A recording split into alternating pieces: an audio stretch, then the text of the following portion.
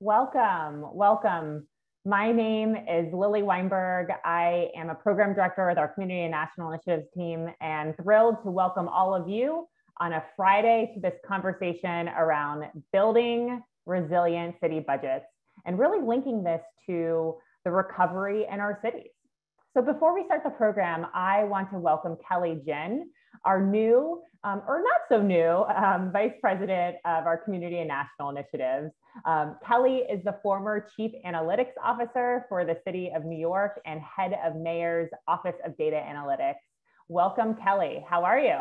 I'm doing well, Lilly. Uh, I am uh, very, very excited to be here on a Friday afternoon uh, with all of you. Thank you for uh, the introduction.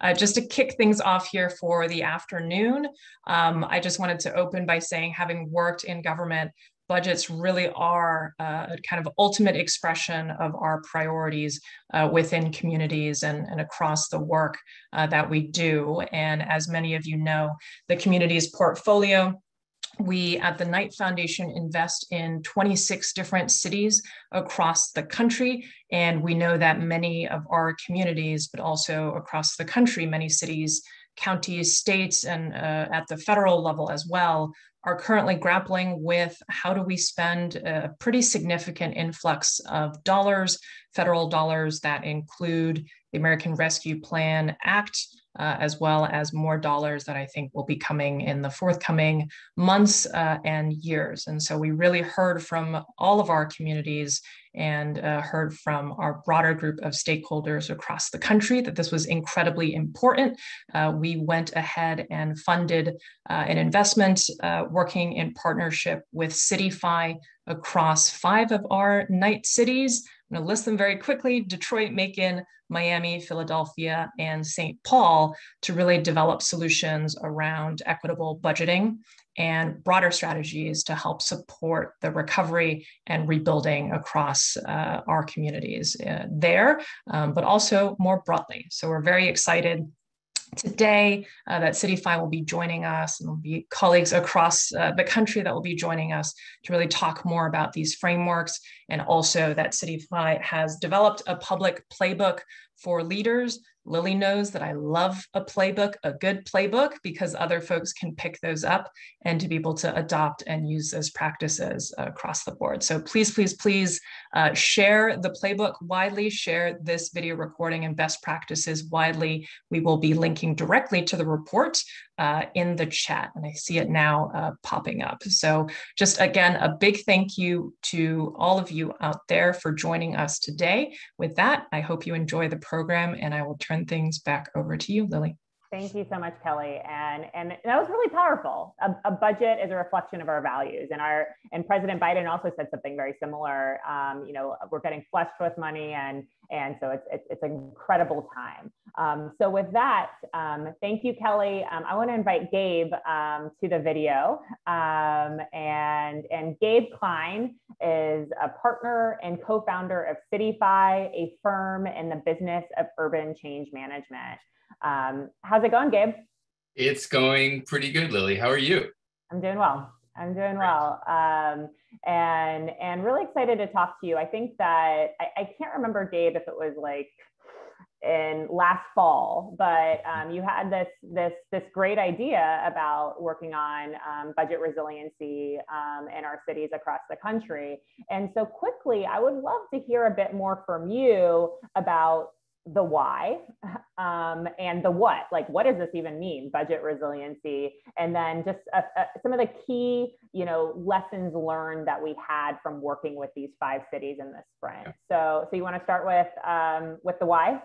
Yes absolutely. And also i just want to thank um, you in, in particular uh, kelly and the knight foundation for for supporting this because you know it was a gamble uh, and it turned out so well. And it was, I think, um, I mean, we'll hear from the cities later. It was enriching for us. Um, we learned a tremendous uh, uh, amount as well. And so, you know, the the impetus for this was to create like a workshop type in, environment, a cohort, because we've all worked in cities. M- many of us, or most of us at CityFi, have worked for mayors, and um, we just we felt for them so much because we know how hard it's been since 2009 during the last crisis, right? And a lot of cities haven't recovered financially, they don't have the staffing that they need um, even now. And so they were sort of, in many cases, just recovering. It took many years. And we got hit with this. So COVID 19 and the crisis was the main impetus for, for, for the five week sprint workshop. Um, and, uh, you know, we knew that cities were going to face a big revenue loss. Um, we knew there was going to be some influx of money, but at the time we didn't know how much it was going to be. And as the situation evolved, um, it their situation has evolved, and it turned from a five week sprint into almost like a eight or nine month workshop, which has been wonderful. Um, but it really begged the question of like, how can cities develop a budget practice? This is not going to be the last hurdle that cities face, right? So how can they develop a practice that allows them to re- respond and rebound from these types of issues more quickly, proactively prepare for future budget challenges, and do it in a way that really puts equity at the center. Um, you know, Joe Biden talks about uh, build back better, and I think build back better means a more resilient and equitable uh, framework. That's right. So, so, so I, I, heard a couple of things. So, so when we're when you're talking about the budget resiliency, I mean, you're it's it's about building like a framework and a practice. So it's like kind of a muscle, and then that allows um, cities to be able to handle um, crises in the future too. Um, and then really thinking about that, embedding the equity piece um, in there. So, so yeah. that's actually, Lilly. Let me just give sort of the definition that we came yeah. up which which I should have in in my answer. So the definition that that we worked on with the cities and, mm-hmm. and came up with is budget resiliency is the practice of equitable planning, mm-hmm. collection, mm-hmm. allocation, and distribution of revenue and programmatic spending to support long-term sustainability and equity in communities. So that's the definition that we came up with. And then the challenge is how do you, you know, really practically execute on that, of course. Mm, mm. So tell me, what are some of the, the key lessons learned that, that you saw over this, this supposedly five months, five week sprint, but, but yeah. really has turned into eight or nine months? Yeah. Um, Which is seeing and learning. And, and it, it's turned it into into something longer because I think the the cities really valued it, um, and we, so we wanted to keep a discussion going as the world's evolving and changing. Um, you know, I think first and foremost, I think it's about outcomes. And you hear this a lot like everything's about outcomes. But there is a difference between outcome based budgeting and just fiscal, you know, annual budgeting. And, um, you know, I think it's very easy for folks in the departments and cities and in the budget office, which by the way touches almost every department in, in the city, to get caught up in like, okay, what holes do we need to fill now? You know, what are the reactionary sort of problems that we need to address now.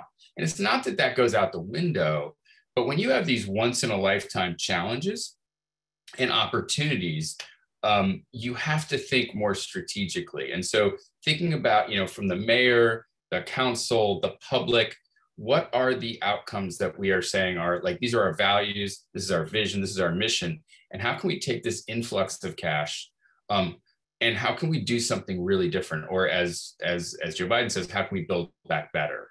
Um, so i think that was one of the big big lessons. Um, and then like assessing who's at the table when making these budgetary de- decisions and how equity is like intentionally instilled into a budget process. It needs to be baked in. It can't be something where it's like hey let's go through the process and then let's make sure that it helps everybody. You have to start with equity at the center and be cognizant and aware of it. It has to be very visible. Um, and then I think, you know, also considering where the funding comes from. For instance, if you're going to, you know, uh, do an experimental parking zone where you're going to be charging by the minute in a particular neighborhood and it's going to generate more money, is there a way that we can take that money and put it back into the neighborhood, into visible community assets, new park benches, whatever it is that the community thinks they need, or maybe, maybe it's public safety, better lighting, right? But I think there's a better reaction from the community when they say, okay, we're going to try something new, we're going to charge differently, but we're going to see the benefits of that right here, right? Um, and then last, I would just say when thinking about like equity and budgets and really when thinking about the budget period, think about return on investment. We often think like, hey, let's figure out how to spend this money. The stimulus money is coming, let's spend it. Let's think about how to invest it in a way that benefits us for the long term, including the fully loaded social cost benefit, looking at environment, right? Looking at um, uh, well-being, health, equity, and and so there's a difference between just spending the money and getting it out the door, and sort of investing in projects that are shovel worthy, not just shovel ready, and looking at over 30 years, how does that benefit the community and all people uh, versus just a subset? powerful. So so it's really looking at the the long-term impact and and and really making some calculations around the return on investment. Um, i also heard um, aligning outcomes um, really asking yourself who's at the table um, and um, really considering where the funding is coming from. So, so these are great lessons learned. Um, without further ado, um, I want to um, thank you, Gabe, for, for, for talking us through that. And I want to invite our cities here and introduce Story, who will be moderating this conversation. Story Bellows is a partner at CityFi and Story. You had the pleasure to to be able to lead um, this work um, and know it really in and out. Um, so, so thanks for being here. And for the audience, um, please remember, um, keep your questions um, in your head and then you can put them in our Q&A box because we're gonna be moderating the Q&A and we're gonna be reserving time at the end to be able to elevate a few key questions. So Story, I'll hand it off to you. Great. Thanks so much, Lilly. And um, thanks to the Knight Foundation and to the CityFi team who, uh, as well as HR&A advisors who worked with us um, and our five amazing cities. Um, I can say that this has been such a privilege um, to work with these cities over the course of now the last like eight or nine months. Um, and so I'm really excited to introduce um, three of the folks who we've been working with, um, Sadia Sattar, who's the Deputy Budget Director from the City of Philadelphia, um, Laura Logsdon, who's the Senior Budget Analyst in St. Paul, and Sherita Sims-Jones, who is the grants, grants Manager for Macon-Bibb.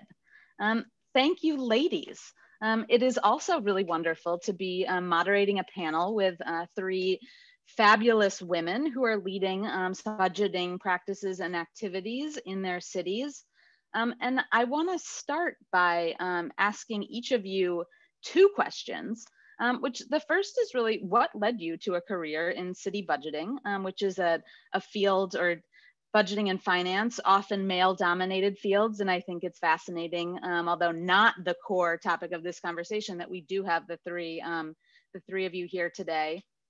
And then to really get us started, can you share a little bit of the roller coaster ride um, that your city has been through um, over the course of the last year and a half? Kind of where did you start? What have you been through and where are each of you um, now? So let's start, um, Sadia, with you, please. Sure. Well, thank you so much, uh, Story, for having me on today. Um, good afternoon, everybody. I'm Sadia Sattar. I am the Deputy Budget Director of Analysis and Communications for the City of Philadelphia's Budget Office. Um, what led me to a career in public service was I was actually doing a master's in East Asian Studies at the University of Pittsburgh um, and realized very quickly that I was totally not suited to become an academic. Um, ended up taking a class in uh, public policy, and the rest is history. I got a second master's in public affairs from IU's then School of Public Environmental Affairs, and here I am today. Um, I have been with the City of Philadelphia's budget office since November of 2019, so just about three months prior to uh, COVID 19 making its appearance, um, very, very boldly in our budget planning process for fiscal year 21, which we were doing at the time. And it was actually uh, lit- literally a few days after Mayor Kenney had proposed his fiscal year 21 budget that we were sent home, um, which we thought was for a very short two week stint, but ended up being into you know the present. Um, some of our challenges are that we are the largest poor city in the United States. Um, despite the influx of a very healthy $1.4 billion in ARP funding, we are still looking at a big budget gap about a $1.5 billion budget gap for our five-year plan that we just uh, introduced this year. Um, we have a lot of needs, like a lot of other cities. We are also restricted by some pretty strict revenue regulation, regulations, a very archaic revenue structure in our city, and again, a population that um, the majority of which is under the poverty line. So very low revenues and very high needs is the lens that we look at, unfortunately, when we create our budget for the city of Philadelphia. Great, thanks so much, Sadia. Laura, if I could turn to you um, to tell us a little bit about yourself and St. Paul. Sure, and thanks, Story. Thanks so much for having me today. Um, this is a super interesting conversation. I'm glad to be part of it. Um, so I'm Laura Logsdon. I'm a senior budget analyst for the city of St. Paul, and um, I've been in this role just for two years. Um, so I, similarly to Sadia, started with the city, you know, just um, not very long before COVID began. So it's the majority of my time I've been working remote. Um, I was, I became interested in working for cities and with budgets um, kind of early in my career when I was working as an AmeriCorps member um, and just became really excited by um, how cities work with the nonprofit sector. And then I um, decided to go to grad school in public policy um, ended up doing some work in program evaluation for a few years, but always kind of had my um, eye on local government and how to, um, you know, to, to get into local government because of the impact that it really has on, um, on communities and, and people's daily lives. Um, so really happy to have been able to join the city two years ago. Um, I would say the, the roller coaster for St. Paul has been probably, you know, like, like everyone else's experiences, um, we were just sort of getting started on our 2021 fiscal year budget when COVID um, began. We had um, developed kind of a, a, new process for developing the mayor's proposed budget um, prior to COVID. And then when COVID hit, it kind of threw all of our plans out the window and everything had to go virtual. And we were talking about um, significant spending cuts um, while we were facing so many needs. Um, the the mayor uh, Mayor Carter set a goal for us that we would have um, zero city layoffs, um, zero percent property tax increase, and zero usage of um, our reserves in responding to um, COVID. So those were some pretty intense restrictions as well through the budget process. Um, we had to look a lot at spending reductions, pretty severe spending reductions to achieve that, as well as really strategic use of the CARES funds that we received um, to kind of shore up some of the gaps that we were seeing in our revenues due to COVID. So, um, you know, really been a, a, major challenge. And then, kind of at the same time, then we were managing CARES funds that we did receive and getting those out, um, getting those funds out to the community. Um, in, in, direct aid and, and support for our nonprofit community. So, um, so yeah, just um, like you said, definitely a roller coaster. And last but not least, Sherita. Hi, everyone. Um, my course, I have been with the county for over nine years now. I started in October 2012. And let me just say, I never thought government would be where I would end up. I've always been interested in business and finance since high school. So I was in your Future Business Leaders of America um, clubs and just always thought, oh, one day I think I want to be able to do meetings because it seems fun and seminars and conferences. So that kind of kept me on track with the business field. Um, I did get my associates in business administrations. I have a bachelor's in business and information technology um, also with a concentration in marketing. And then I have a master's degree in project management. So that really helps tie a lot of our budget and grants um, opportunities together for me. So it's been quite interesting uh, since I've started in October 2012. I learned a lot. I started out as a grants accountant which was quite interesting because, of course, governmental accounting is very different compared to everything else. um, but it's fun. I, I, must say, it really gives you a keen eye on everything that's happening within your county and city. So that's really good to know. Um, and then as we continued on, I became a grants manager and the budget and grants manager as well. So I got to really learn a lot between writing the grants, accounting for the grants on the back end, which I'm that person. It seems like I always see the back end of the picture, but somehow I get back to it where I start in the front end and now it makes sense as a whole.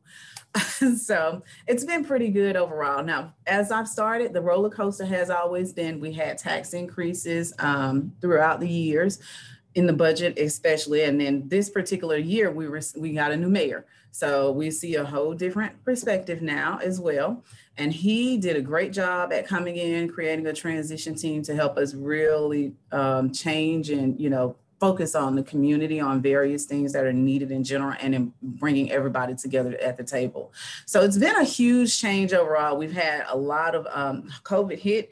And of course, as everyone else would expect, reductions in revenue. We were surprised that we did not have as many reductions as we thought we were going to have.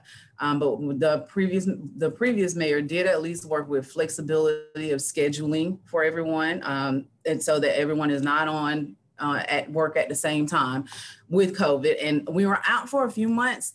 So that was also really, you know, interesting, especially when you just don't have a lot of the paperwork for certain things that you do in government. Because let's be honest, a lot of us don't have just the automated systems to do a lot of things. So it's been really good overall. I've really enjoyed it, and it's been ch- every year there is a different change. No matter what, I, you just cannot expect what may come each year, except to kind of just roll with it. So it's been great. Thanks. Um, and so, as someone who has spent time in government, I know that you always pick up the phone when the budget office calls. Um, and so, you have levers that you can pull across an entire city um, that many other departments do not necessarily have. And so as Lilly mentioned, you know, we talk about a budget being a reflection of the city's values.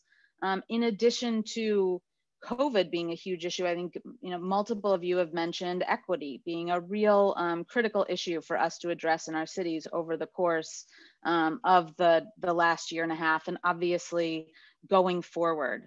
Um, so I'm wondering if you could talk, and probably Sadia, starting with you, um, a bit about how are you addressing equity issues in your budgeting processes? Absolutely. So I think moving into this year's budget, um, you know, I feel like for fiscal year 22, we made a conscientious effort to ensure that our budget not only supported um, the city's long-term fiscal health, but it also um, advanced equitable outcomes for all Philadelphians. And how it does it it was it did that was not only to, um, not only about you know how the budget process unfolded, but it was also about whom we brought forward in the process, who was at the table with us. So a couple of things that the city of Philadelphia did was that we released a, a survey um, about you know asking folks about what they would like to prioritize in the upcoming budget um, for the city. Uh, and we were fortunate enough that we received about 13,000 plus responses to our survey. Um, and that helped identify, you know, what uh, folks would like to see in our budget. A couple of other things that we did in the budget process to make it more equitable was that we have now started to create um, a uh, abbreviated versions of our five-year plan. So we do a massive five-year plan, which is like an 800-page book, but then we also create a five-year plan in four pages and we translate it into seven languages. Something else that we've done to advance equity is that we actually um, initiated participatory budgeting in the city of Philadelphia. Um, in January of 2021, um, this was a pilot program that we've started since then.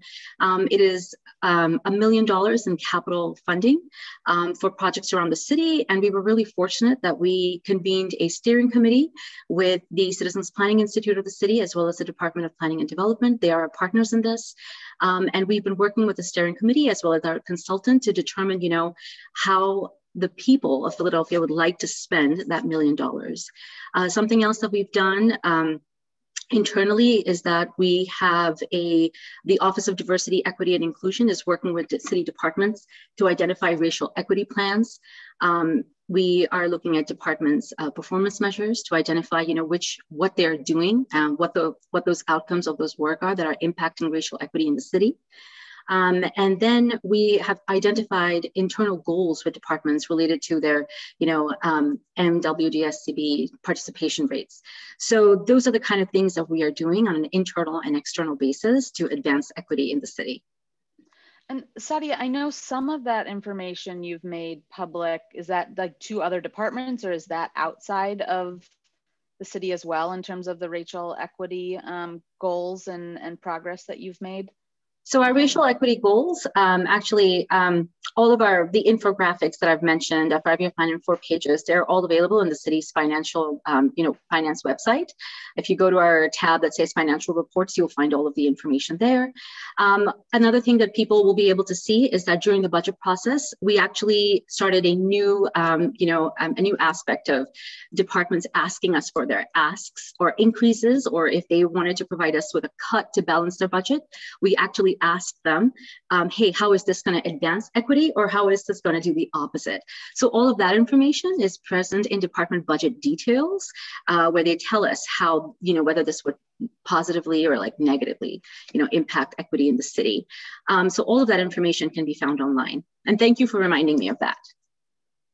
Awesome. I think, you know, releasing some of that and making sure that people are talking about it um, and have the opportunities to learn from what other departments and other cities are doing is something that I think we've certainly found um, as both a critical need and opportunity from doing this work is just bringing people together um, to have the opportunity to share um, some of the challenges as well as the best practices um, that we're all developing because obviously this is a, a changing landscape and we're all learning um, as we go and nobody has absolutely nailed it and you know come up with um, the, the perfect um, response to all of this. Um, Sherita, I'm wondering if I could turn to you um, to talk a little bit about um, how you are um, infusing equity in your budgeting processes in Macon-Bibb. Okay, so this we're only in the month of June now, and I must say we it's felt like a year already. but the good thing is we had a new mayor start January one, so we had to kind of get used to you know his tactics and what um, all he wanted incorporated and infused into the budget and he started out with an actual transition team, which included various partners, um, community leaders, 31 different community leaders that helped engage our overall community as a whole. They had five different meetings where they held they were held face to face on at on the table events and virtual. And I must say, we out of a population of 155,000 people, we had over 140,000 participate. So that was ecstatic. We were that was very great, and we were ecstatic. Um, we also had excellent community engagement, which left us with 20 goals to start out. Because again, this is only January 1, but we're in June now. So 20 goals to start out and 58 action items to address based on the 2000 plus surveys that we received from everyone. Um, those surveys suggested that we address various situations such as blight, um, pandemic response, types of businesses needed in the area, um, public safety solutions, building upon our education systems, and creating more ways to engage the community itself more inclusively and equitably. So it's been pretty good, I must say. Um, with that leadership team, it had people from, it's very diverse with the 31 transition um, uh, members from the 31 transition team, but I must say it had um, maybe somebody from the hospital, I think it is, um, our Macon Chamber of Commerce, some of our local community partners, uh, the five, certain department, county departments, community foundation, and those are just a few to name. The Department of Education. So it's just uh, we were able to really touch a lot of well the entire picture within the community overall. Absolutely. Thanks, Sherita. And Laura, obviously the Twin Cities um, are, are a place where um, many of these equity issues that um, have dominated national discourse over the, the course of the last year have really been centered. And so I know you guys have been um, doing work not just in the last year, but before that um, to make sure that equity is built in. And I think you have one of the more sophisticated approaches um, of cities you know in the country in terms of how you're looking at infusing equity in your budgeting practices so i would love for you to share a little bit about um, what you all um, have built in st paul Sure, thanks. Um, so when uh, Mayor Carter um, took office in St. Paul, he established three key pillars um, for the city, which are um, equity, innovation, and resiliency. And those three pillars really are infused into um, all of the work that city departments are doing. Not that that, you know, those things were not involved in the work before, but they've really been um, centered in this, I think, in this administration. Um, one of the ways that that has really come out in budgeting is um, a much more public facing budget engagement process Um, prior to the pandemic, that happened in person. We called them budget games. Um, we would go out to um, community organizations, bars, breweries, um, schools, and the budget team would um, host this, you know, budget game, which was a paper process, and we would give um, participants, you know, a $10 million budget gap, and here are ways you can address it, and here are things that you might want to invest in. And it was this really interactive um, participatory process to get priorities from the community. And then um, our team would analyze that data at a really detailed level and provide a report back to the mayor that helped um, inform decision making about um, about the budget and kind of get that that community input about um, you know what the community wants to see the city doing. Um, when the when COVID hit last year, all of that had to go virtual, and last year that became a very um, you know, it was kind of a discussion process and it was, you know, still super valuable. But then this year that has really transitioned. Um, the finance team and our technology team have worked very closely together to create a really interactive tool that we can use virtually. Um, and we've been having these budget engagement roundtables um, with the community now. They just started last week and they're continuing for several more weeks. So our goal is to, um, you know, really engage the community again in that like deep level of participation around prioritizing um, you know kind of large areas of investment that are important to them and also getting them to understand like restrictions that we have so you might need to cut some spending if you want to invest a lot more in one area or you might need to raise revenue and here's what that could look like um, so that's, you know, that's been a, a, super important part of the budgeting process. Um, I would say um, similar to um, something else that was mentioned earlier was um, that, you know, a question about equity is included in the budget materials that departments submit as part of the budget process. So you know how is the work that you've been doing this year advancing the city's goals related to equity and how are any changes you're proposing you know going to impact equity in the city um, I would say also, I think maybe the last thing I would add is there are a lot of conversations happening um, in the budgeting process this year about the um, you know pretty severe cuts that we we took in 2021 um, that impacted a lot of our direct services to community. So um, we have way fewer library hours than we used to. You know, our 13 branch our 13 branches None of them are open seven days a week. Many of them are only open four days a week, four or five, and that has a huge impact um, all across our city. Um, you know, a lot of our parks and our none of our pools were open last year, and so like you know those those really direct services that um, everyone in our community needs, but often like community members with the most need um, are being impacted by the direct services that were cut. So we're really trying to figure out like how do we bring that back? How do we restore services so that we're you know providing um, equitable service to to our community. I'm wondering, um, particularly as we talk about community engagement and the idea of building trust, um, are there have you changed or have you seen that departments are changing some of their proposals based on this community feedback? Um, how are you what are the feedback loops so that you're actually going back to um, residents to um, engage them? And this is sort of open for all of you beyond just um, some of their inputs um, in the budget process. But are you thinking about um, you know how you go back to them to share with them what is happening on the on the back end of that? Well, I would say for us, yes, we are. Um, as we hold various events, we consistently get the community's information and input just to make sure we're addressing what we, what they feel like should be involved within it, within their environment, their home area.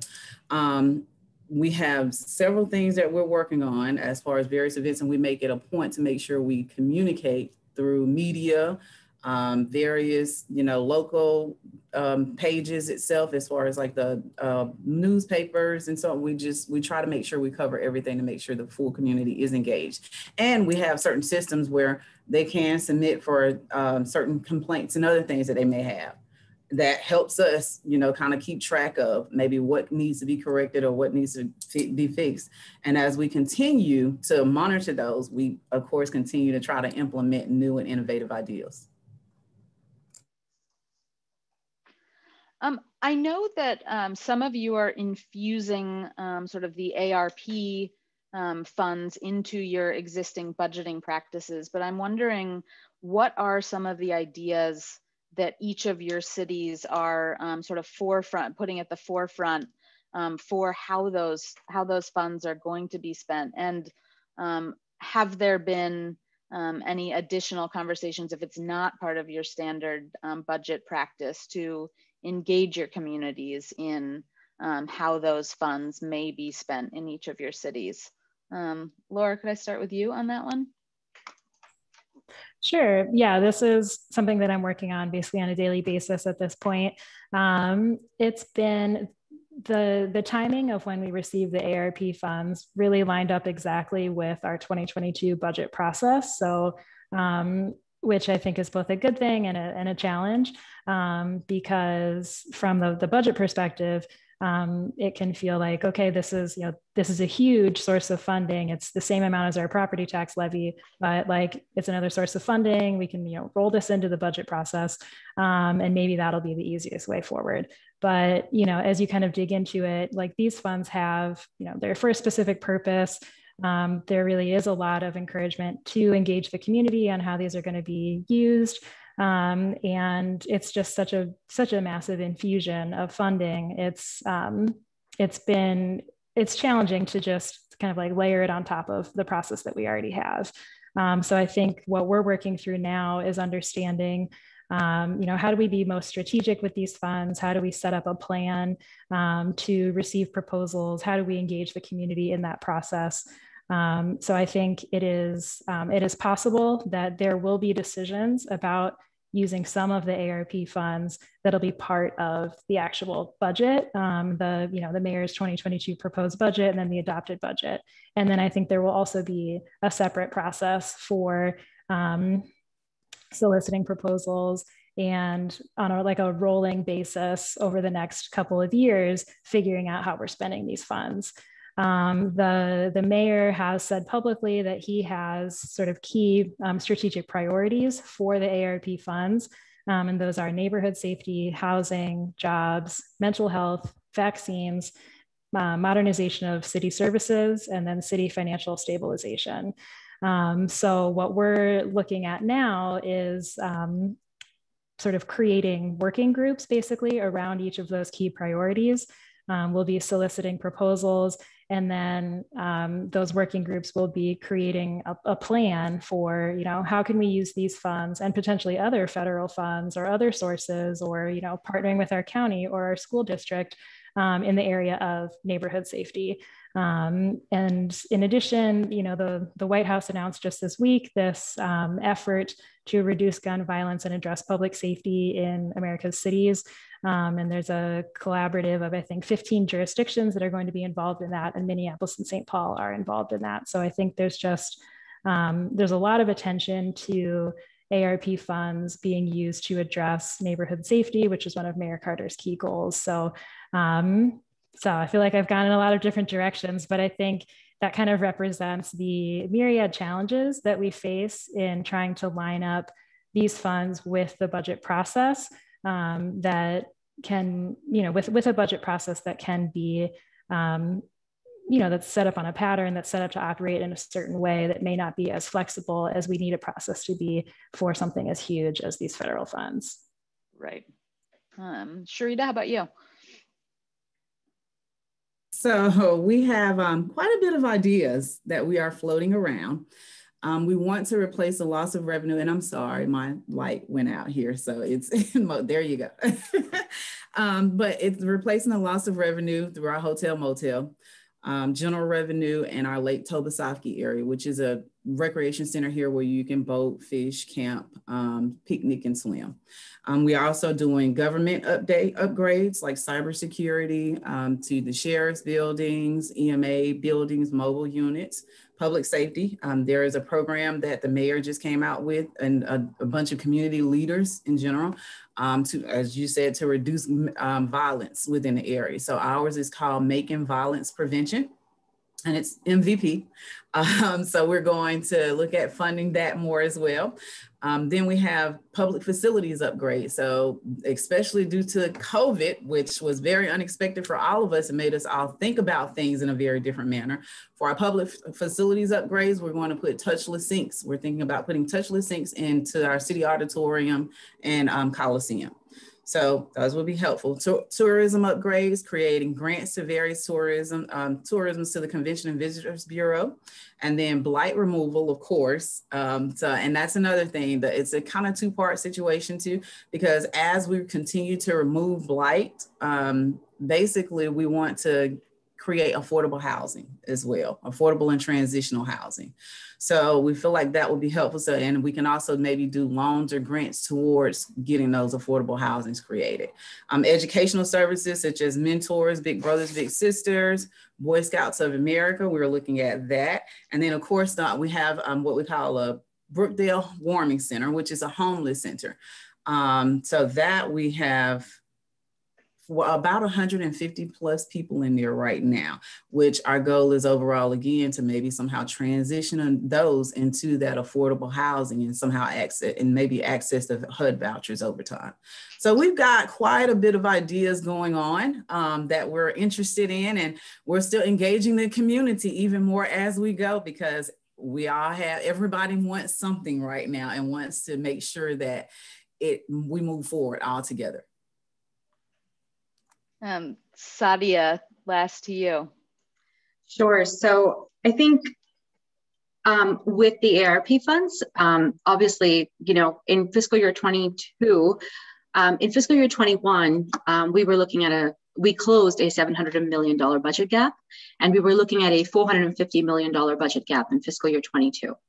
Um, with ARP funds, of course, we were able to close that gap, but we are also using ARP stimulus relief funding to fill the shortfalls in our spending. Um, and essentially we're using it to, you know, reopen um, the city. Um, we are also using it to keep people healthy in the city and keep people safe. Um, so some of the ways that we are using these funds is uh, to make up for lost revenues, just like Sherita mentioned in Macon, Georgia. Um, the Philadelphia, unfortunately, has a very you know archaic tax structure where the majority of our revenues do not come from property tax revenues, but from wage tax revenues. And of course, with the majority of us working from home over the past 15 months, um, our revenues, wage tax revenues, have been uh, deeply impacted by that. So the majority of ARP funding is being used to uh, recoup those lost revenues.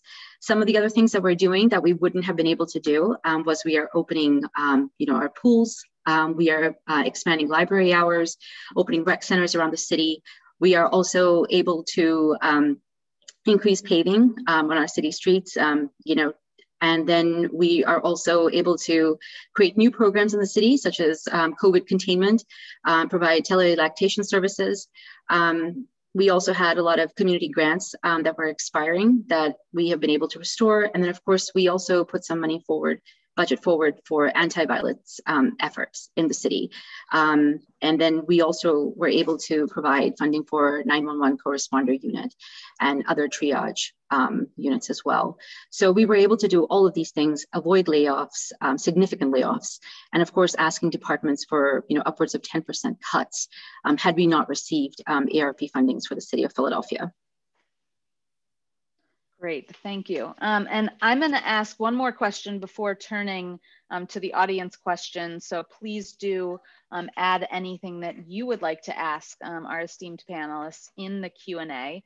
Um, and one of the one of a, uh, the comments that I heard in our last um, cohort conversation, someone said that their predecessor had mentioned that it would be a whole lot easier to cut $10 million then spend and reallocate a couple hundred million dollars. This is not something that we're actually set up for. And so I'm wondering, you know, this is a, this is a time of abundance, but that certainly doesn't make this an easy time um, for each of you um, and your de departments um, as you go forward to, um, to think about um, how you are actually ensuring an equitable budget. How are you at the same time um, using like creative funding sources like new revenue generation and thinking about cost savings and in-kind opportunities. But I'd like to ask the last question about something that we talked um, quite a bit about um, as we went along the cohort and Laura, who didn't participate in all of that, but is obviously running this as her day to day,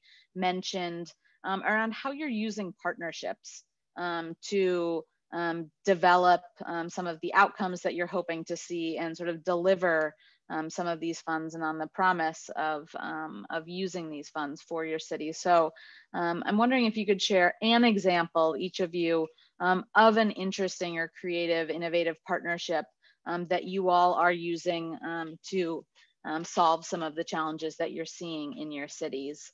Um, and I'll open it up to any of you to go in um, first before I put one of you on the spot. Well, I can. I Laura, can go in. for it. um, so in St. Paul, um, we are we're the capital city. Um, the um, you know St. Paul received, I think, the after Minneapolis, you know, we received the second most um, ARP funds of yeah of any city in Minnesota, and then we received more than our county, um, and then our school district actually received way more funding than we did. The St. Paul School District received the most funding in any school district in Minnesota, um, so we've been looking at our county, between our county school district and um, the city, we have hundreds of millions of dollars. And we have many common goals around some of those priorities I mentioned earlier, like housing, neighborhood safety, um, and jobs. And so we've got some really good dialogue going with leaders in the counties and schools um, about like how can we prioritize together, how can we share resources, um, probably the best example that like happened basically immediately is the city and the county um, partner on a youth jobs program, um, and it's a it's a program that already is in existence um, for high school students and getting them internships in government, but also in local businesses. Um, and pretty much right away, when all of us received our ARP funds, the county and the city started talking about doing like a huge expansion of that program this summer um, and expanding it to um, a little bit older of a, a, cohort. So I think normally the program serves students that are like 14 to 17. And this summer they opened it up to, I think, 18 to 24, um, really trying to ensure that um, that age group of folks is able to get jobs, um, you know, this summer, addressing unemployment rates, addressing a need, um, also to create um, a better pipeline for employment into different types of careers, um, you know, into and also just into city government and to county government. And so that was really the the first program that the um, the county and the the city agreed to spend ARP funds on at all um, was like several million dollars of, of both of our funds to expand that program. And that is, um, I think, is is getting kicked off right now. So they didn't want to lose this summer season. Um, so that was one example of you know both of these bureaucracies being able to come together like really quickly. Um, it helps that the program already existed; they weren't creating it from scratch. Um, but but yeah, that's just one key partnership kind of in workforce development, and we see a lot of opportunity for for further partnerships. Awesome, um, Sherita. Okay, so we have and you a, only one, only one, only one. Oh, I have to pick then. okay, so the most recent one, I guess that I will go with is um. You're sure not two story? No. All right, as long as they're really quick. Okay. Um, the Macon Violence Prevention Plan, that is something that we um, inter- enacted around, I think it was June 10th or so. Um, and it is basically to gather a series of community meetings with the various leaders within the community, faith um, leaders, law enforcement agencies, other government departments, and just overall community leaders. And we're holding these meetings and also inviting the victims and families of victims to these particular meetings, basically, so that, you know, we can kind of get more insight about community engagement and how to spend that uh, more ARP funding on that as well and reducing violence within our area. And another one is um, the Knight Foundation. We're closely involved. They've helped us kickstart quite a bit and fund, uh, you know, help us um, fund some things. So we've got the Mobile 211 pilot program, which is starting for us. Um, the Knight Foundation and um, United Way handle it, but we're looking at adding some funds there with ARP as well. And it just connects um, your pe- the people to uh, live in a community overall in what's already considered challenging. So it'll allow them to do like have access to food pantries, job search and placements, and financial emergency um, assistance pretty much. So it's quite a bit going on. And then of course your um, SeeClickFix this, uh, system, the, sorry, I can't talk, SeeClickFix, that allows us to get a lot of the complaints from the department, from various um, community members, such as my trash wasn't picked up, picked up or um, right away needs cutting or something like that, you know, the Knight Foundation kind of helped us with that too. So we've got quite a bit that we do when it comes to partnerships between the local leader, community leaders, the um, law enforcement, government departments, and um, Knight Foundation, Community Foundation, Peyton Anderson. So yes, thank you. thank you. Um, You're welcome. And Sadia, a quick one because I definitely want to get to some of these audience questions. Um, so I think that Philadelphia is in a we're in a bit of a different position. Um, we are we do have um, through our commerce department the city does have a lot of partners that they work with to provide you know business relief um, and we have created like a um, a restaurant like revitalization fund um, and to provide you know working with like different city and um, not other city partners. But I think our needs um, and the fact that we have such large revenue shortfalls is what the focus of these ARP dollars have been. And I apologize if I seem to have missed your question. Um, but you know, we do have community partners that we partner with, with, with our Department of, um, you know, Office of Homeless Services, with our, uh, you know, um, Office of Transportation Infrastructure and Sustainability, with, um, you know, our Commerce Department, Office of Children and Families. So those partnerships have been there and they'll continue to be there. But I think the level of engagement is obviously much different now than it was before because the need is so much more. Absolutely. Um, I want to bring us back to process a little bit and talking about um, participatory budgeting. Um, and we have a question from the audience, sort of how does participatory budgeting encourage equitable outcomes? And are you seeing certain populations participating more through this process than others? Um, and so Sadia and Laura, I would love for you all to respond from uh, Sadia, your PB, um, experience as well as Laura through the St. Paul budget game? So uh, uh, Philadelphia is currently in the beginning stages of its process. We did kick off our project in uh, our process in January, but we've had we've kind of had to be on a little bit of a hiatus because of another very very intense budget year. But how we ensured that we had as much as many folks from you know black and brown communities in philadelphia engaged was that we partnered with the citizen planning institute in the city the department of planning and development. Um, they were doing an outreach for um, you know the reimagine philadelphia steering committee which is uh, working on the city's 10 year strategic plan. And and through that they they were pretty um, you know good about making sure that folks from you know any and all types of communities in the city were represented. So those folks are fortunately on our steering committee. So we have tons of boards and commissions folks from tons of boards and commissions in the city presented as well as a pretty good um, you know cohort of um, city public from various um, neighborhoods and groups um, and like I said, we are in the beginning phases. Um, so we just wrapped up uh, creating a rule book for how the process will be you know, designed moving forward. And we are currently moving into our idea collection phase and later we'll be starting uh, community engagement and outreach for PB in Philadelphia. Great. And Laura? And maybe you also have the experience of doing it in person and virtually. And so I also wonder if you've seen a change or a shift um, in participants um, through those different modes? Yeah, I mean, I think it's a, it's a super important question. Um, when we did them in person, I mean, I think both in person and virtually, to some extent, people are self-selecting to show up, and so um, that can that can create a particular bias. Of folks who are already tapped in um, or um, if there is like a particular group that's organized very well um, i know there was a there was a budget meeting a couple years ago where like a, a, community bicycling group was like everybody needs to, needs to show up for this budget meeting so we can talk about the need for bike lanes. And so bike lanes was like a major you know priority that came out of that meeting. That's fine you know um, i think one of the things that we as a city are really working to do, the mayor's office has really takes a lead on um, scheduling these budget engagement sessions is also ensuring that we're partnering with community organizations.